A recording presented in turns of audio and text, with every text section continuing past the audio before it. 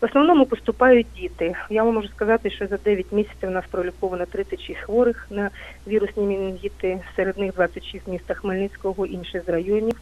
В більшості, я вже сказала, це ці менінгіти ентеровірусної етіології. Також у нас були і гнійні менінгіти, це як ускладнення там гайморітів, ангін, інших гнойних якихось запальних процесів. Е, Це зовсім інше лікування, це зовсім інші збудники.